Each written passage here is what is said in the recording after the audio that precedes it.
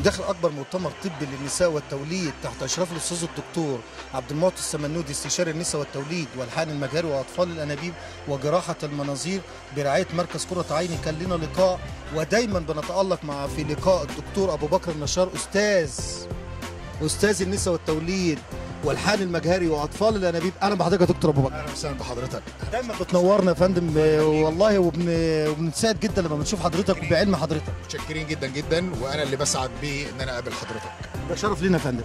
طب النهارده عايزين نتكلم باستفاضة مع الدكتور أبو بكر والمعلومة اللي إحنا دايما بنستفيد منها جميعا في مصر والوطن العربي من الدكتور أبو بكر عن الحقن المجهري. الحقيقة الحقن المجهري ده تقنية عظيمة جدا وفتحت الأمل أمام الكثير من الناس اللي كان قبل كده في استحالة بإن هم يحملهم وكل يوم في آه، جديد في الحقن المجهري. لكن اللي أنا عايز آه، أوجه الانتباه إليه حكاية اللي بيقولوا استخدام الخلايا الجذعية.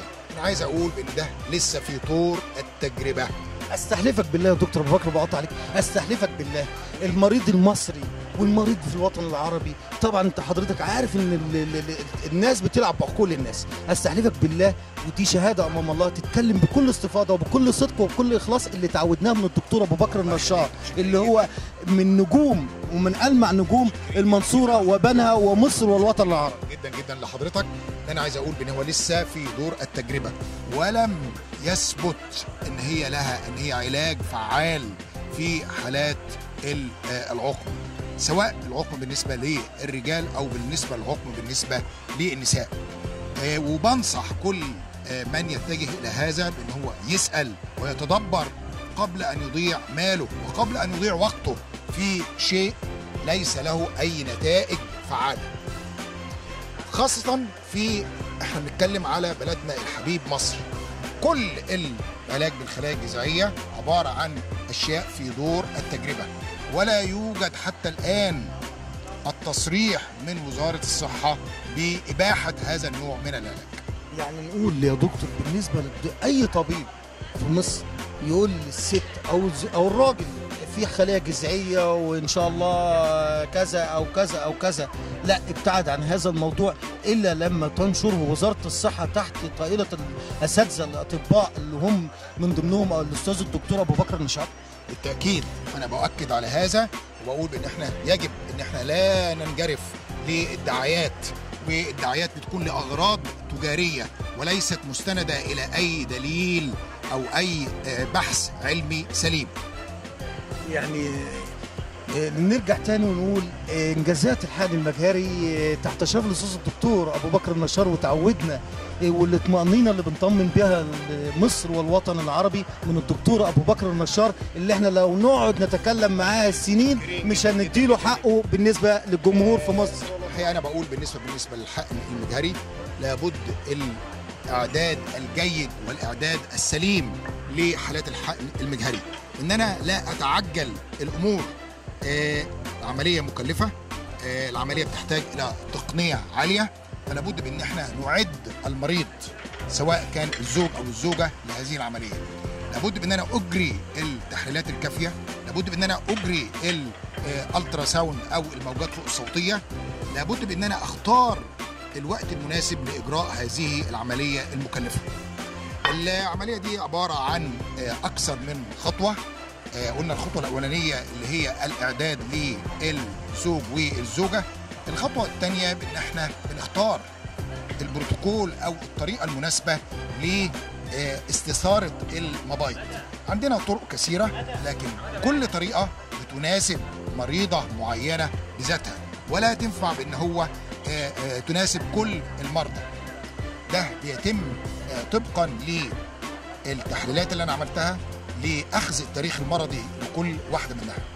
بعد كده آه، بنيجي بالخطوة اللي بعدها اللي هي إن أنا أجمع البويضات وبجمع البويضات ده برضه لابد إن هو يكون في مركز متخصص. المركز ده مشهود عنه بالكفاءه والمركز ده آه، يكون آه، له تاريخ في هذا المجال. بعد كده بيحصل العملية الحقن المجهري. والعملية الحقن المجهري دي بتعتمد أساسا على المستوى المعمل اللي أنا عامل فيه المعمل الأجنة اللي أنا عامل فيه هذه العملية. بعد كده بيتم عملية نقل الأجنة وبرضه نقل الأجنة بتحتاج بتعتمد كثيرا على خبرة الطبيب اللي هو بيعملها. بعد كده إيه آه، بنأمل في ربنا إن يكون فيه إن شاء الله يكون في حمل وتبقى طريقة لإسعاد آه، اتنين كان قبل كده آه، مستحيل بإن هم يحملوا. طب بالنسبة للمؤتمر النهارده تحت رعايه الأستاذ الدكتور عبد المعطي السمنودي إيه رأي حضرتك في المؤتمر النهارده والجديد في المؤتمر بتاع الدكتور عبد المعطي الحقيقة المؤتمر النهارده يتميز بأكثر من شيء جيد. نمرة واحد الإعداد الجيد نمرة اتنين الحضور العظيم لكافة الأطباء من- من البلاد المجاورة من كل مصر. يعني في اساتذه من الازهر في اساتذه من طنطا اساتذه من المنصوره من بنها. الحاجة الثالثه المستوى العلمي لهذا المؤتمر. آه، بيحضرني على هذا إن هو كان بيشمل على حاجتين ما استقر وما عرف على الطب لأن هو إحنا في عملية التعليم الطب المستمر. آه، فتناول آه، الطرق المختلفة لتحريض المبيض وتناول كمان الجديد في ال- الطب. وده تناوله الأستاذ الدكتور محمد السعيد محمد نبيل غريب على ال uterine transplantation أو زرع الرحم. الحقيقة زرع الرحم دي حاجة جديدة ومن شهور قليلة ولدت أول مولودة في العالم عن طريق تقنية زرع الرحم. ال- النهارده كان فيه آه، آه، عبارة عن محاضرة عن هذا الموضوع.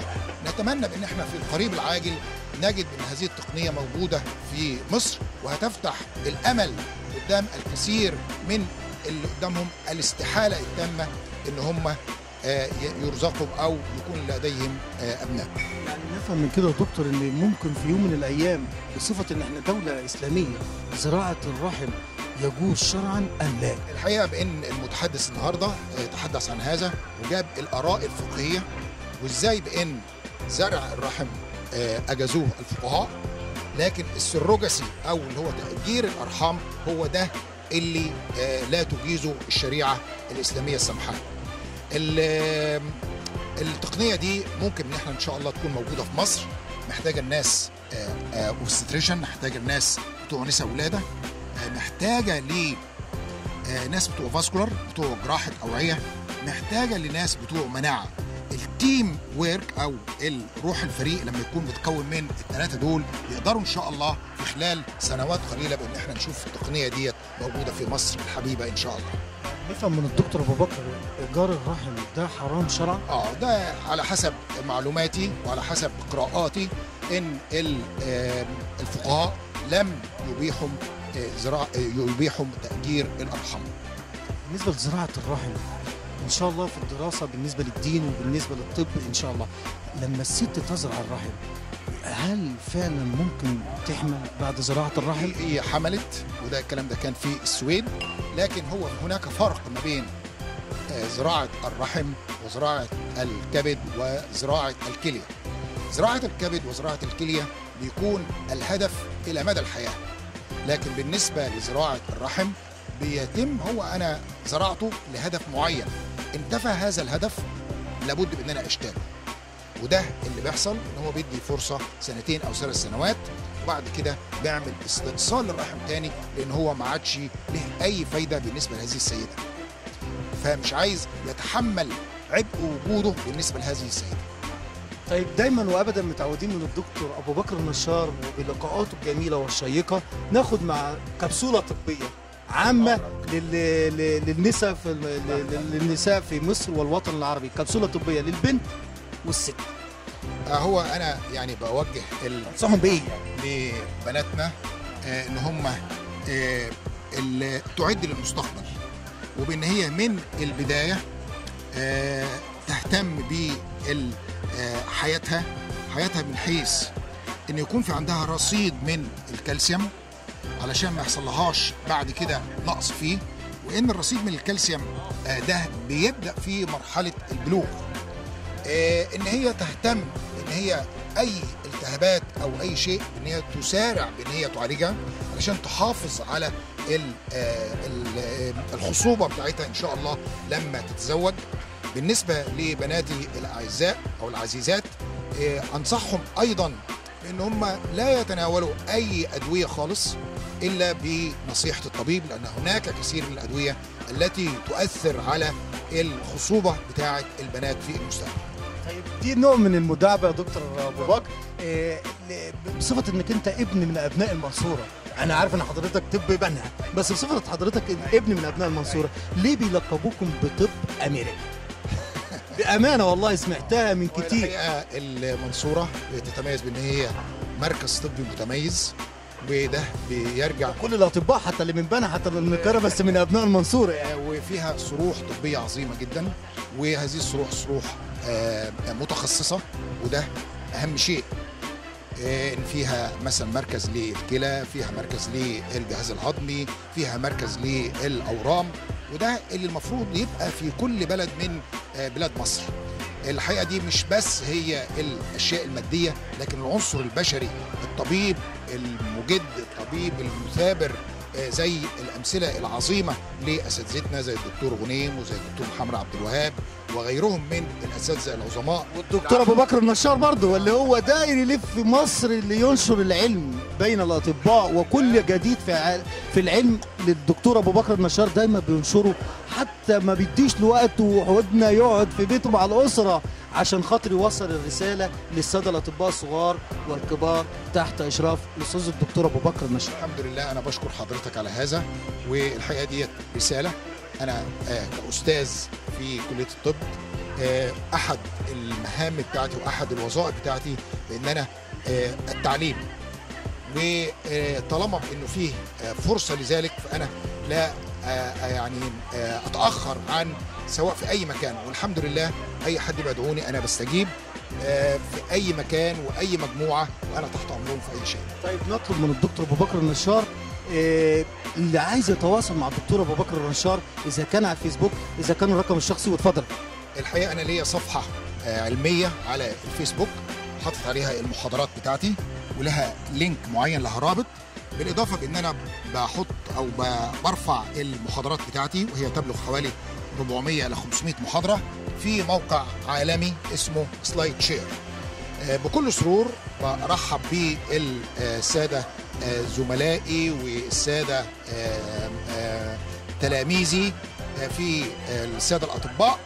والحقيقة الصفحة العلمية دلوقتي وصل عدد المشتركين فيها 1300 طبيب نساء ولاده من جميع أنحاء العالم. قليل على الدكتور أبو بكر بأمانة. يعني ده المفروض يوصلوا لل ال 103 ألف طبيب اللي هم في مصر اللي هو سواء نساء أو غير نساء. والله لحضرتك متشكرين جدا لحضرتك. متشكرين وفي نهاية اللقاء نشكر باسمكم جميعا الأستاذ الدكتور أبو بكر النشار أستاذ جراحة النساء والتوليد والحاد المجهري وأطفال الأنابيب وجراحة المناظير من داخل مؤتمر الطبي للنساء والتوليد تحت أشراف الأستاذ الدكتور عبد المعطي السمنودي. نشكر حضرتك. متشكرين جدا جدا لحضرتك ونحب دايما نشوفك في مناسبات علمية قادمة وتكون متألق كعادتك دائما شرفا يا فندم شكرا فندم شكرا.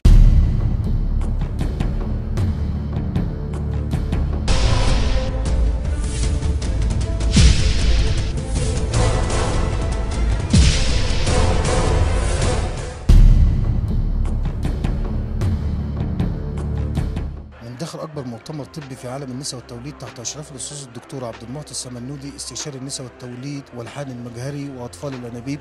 كان لنا لقاء مع الدكتور عبد المجيد سرحان أربع حضرتك دكتور. أهلا بيك. النهارده بالنسبة للي قدموا المؤتمر واللي قدمه الدكتور عبد المجيد سرحان وإحنا بنسمع عن حضرتك الكتير والكتير.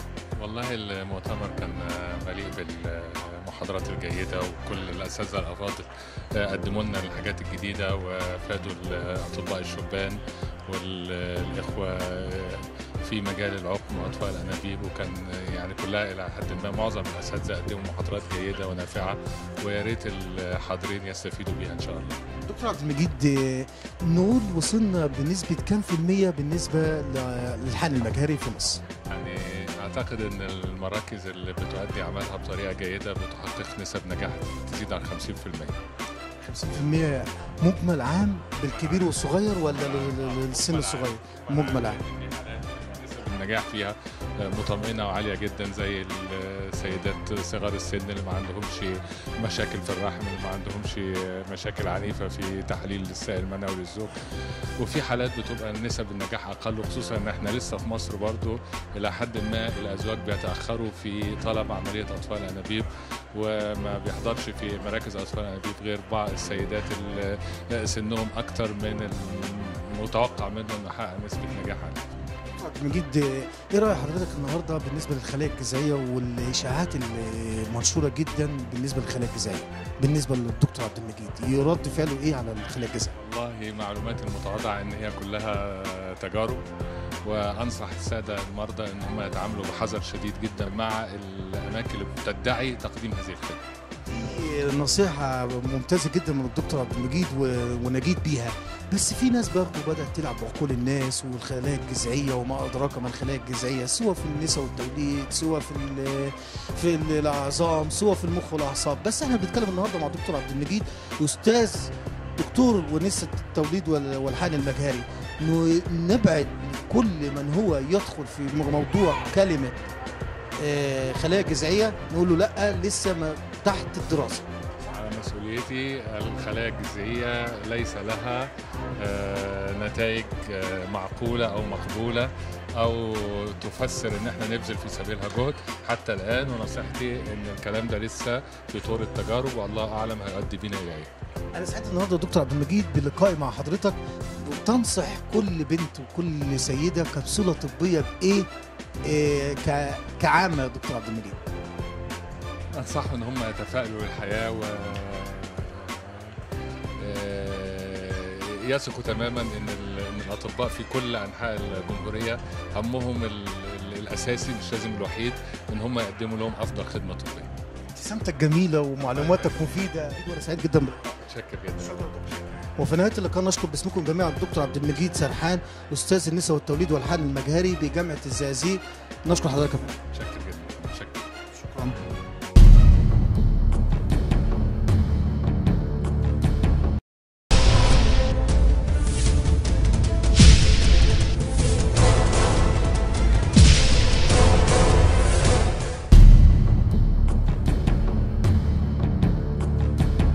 داخل أكبر مؤتمر في عالم النساء والتوليد تحت إشراف الأستاذ الدكتور عبد المعطي السمنودي استشاري النساء والتوليد والحقن المجهري وأطفال الأنابيب وجراحة المناظير أكبر صرح طبي في مركز قرة عين للخصوبة في المركز المحلة الكبرى. أهلا بحضرتك يا دكتور. أهلا بيك يا أستاذ. آه، إيه أخبار المؤتمر النهارده؟ وحضرتك دايما نايمة ودايما لايق ودايما في الازدهار يا رب على طول ومدى الحياة إن شاء الله. إيه المؤتمر النهارده؟ كان يا أستاذ أحمد ده مؤتمر سنوي.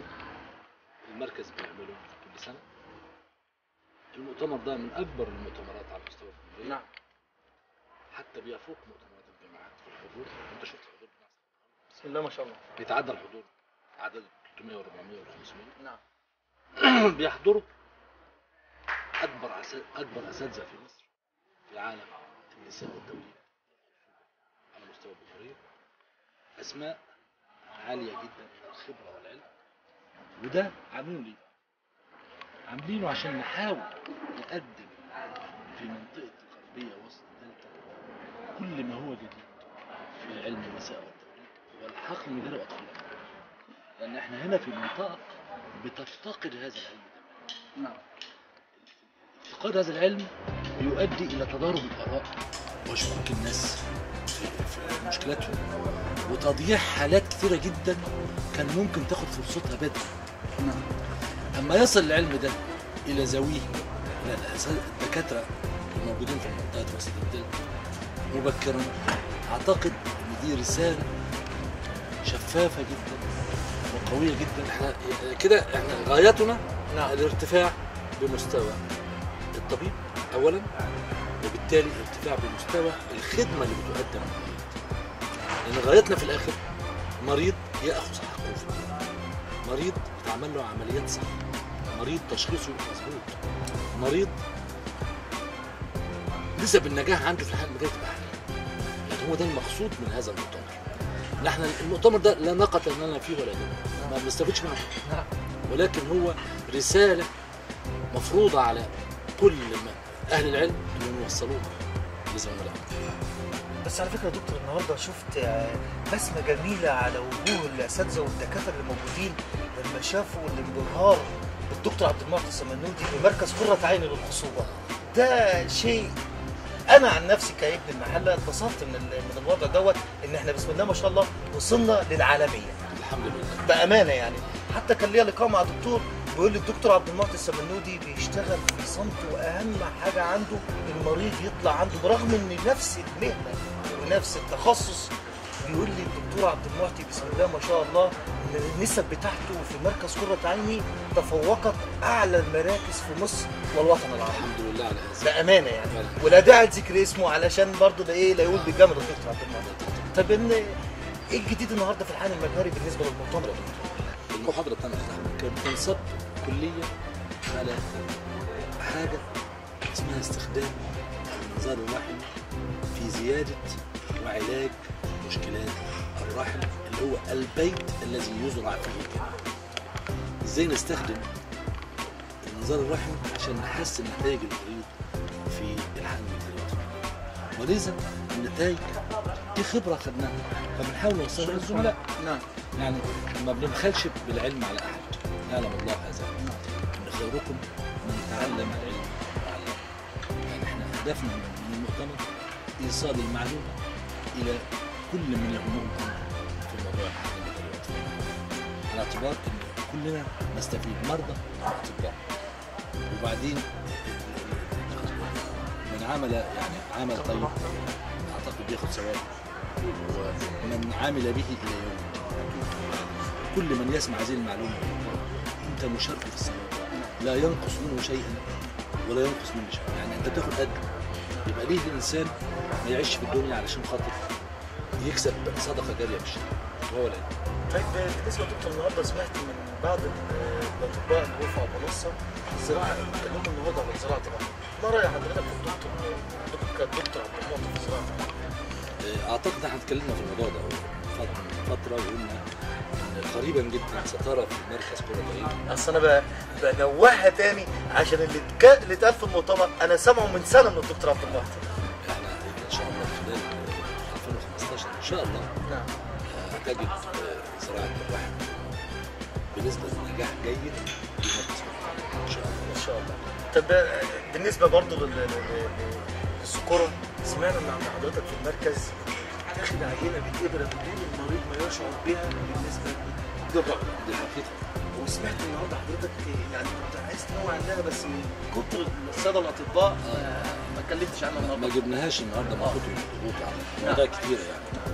لكن إحنا فعلا في المركز نستخدم جهاز خاص بسحب النووية خاص بدون فتحات ودي تعتبر موفرة للمريض بشكل لا تتخيله من آلام. توفر آلامه بشكل لا نعم. الحاجة التانية إنها ما تسيبش الخاصية بحالة سليمة الحاجة التالتة إن أنا ما باخدش أنسجة من الجسم يعني بيها مركز قرة عين الخصوبه يعني أنا لما باخد حتة باخد اللي فيها وارميها الحتة دي المفروض ان فيها خلايا بتنتج حملات أنا خدتها ما عادش تنتج. لكن أنا سايب الخلايا زي ما هي. بتنتج أنا لو خدت فيها غيرها شغال يعني حاجة أرض بتنتج شغال على طول. فليه نستخدم قطع الجزء؟ قطع الجزء ده فيه خلايا وفيه أنابيب معينة بتكون حملات منويه أنا لو سبتها جوه وخدت الحملات المنويه بس ما هي بتنتج على طول باستمرار بالنسبة لي يبقى أنا بفيد العيان يعني نقول بسم الله ما شاء الله أكبر فكري في مصر والوطن العربي مركز كرة عين الخصوبه الحمد لله. بالنسبة لامراض الذكورة وامراض النساء تفوقنا النسب العالميه بمشيئة الله مع الدكتور عبد المنعم السمنودي والله يا أستاذ احمد ان إحنا بنقول هذا الكلام بدون أنا فاهم انه بدون مبالغة والله وبدون نعم. إحنا من أعلى نسب نتائج الحمل الحمل في مصر والشرق الاوسط بل والعالم. بسم الله ما شاء الله. ربنا يزيدك في الازدهار يعني إحنا النسب عندنا لا تقل بأي حال من الاحوال عن 60% ما بنحبش نقول لا يا فندم انت حضرتك قلت لي 60% اللي هي متناسبه الأعمار من سن ال 30 ل 40 و50 60 لكن 60% بالنسبة. لل 28 ونازل دي نسبتها تتعدى 80 من تحت ال 35 وتحت نعم. نعدي 60% توصل 80 و70% مستريح اللي فوق ال 35 لغاية 40 بتوصل 60% واللي فوق ال 40 بتنزل ل 40 30% ده مجمل النتائج كلها في الآخر والله هذا الكلام ليس له ليس فيه زيادة أو نعم ده كلام طبيعي وأتمنى الرسالة دي توصل لجميع مراكزنا في المريض نفسه يروح مركز ويذكر له نسبة الحمل 30 40 أنا في رأيي إن المركز عنده مشكلة. أنصحه إن هو. يعني كده. المركز فيه مشكلة. كان لسه في مراكز بتتكلم دلوقتي في 30 و40 المركز فيه عنده مشكله فأنا أعتقد الكلام كله بعد الخمسين ما عادش بالنسبة دكتور تنصح السادة الأطباء أو بعض الزملاء بالنسبة للمراكز الناس اللي بدأت تبدأ تهاجم بعضيها والخط من تحت لتحت والدنيا اللي, اللي بقت فيها حقد وغيرة وبدون برغم إن الدكتور عبد يسلك طريقه بدون اتجاه وبدون أي اتجاه لأي ما بنبصش لحد. ولكن هي هي نفوس. والدنيا زائلة يا أستاذ. اللي بيتكلم اللي بي... بيعيب في زمايله أو يبص زمايله مش مدرك إن الدنيا زائلة. نعم. وان الباقي له هو الأخير. نعم. فيعني أتمنى يعني إن هم هي دي قصور عقلي قصور فكري. أعتقد إن هو لو فكر شوية هيعرف إن الأرزاق بالله وما فيش حد ياخد أكتر من واللي بيعملوه ده بياخد عليه ذنوبه بس.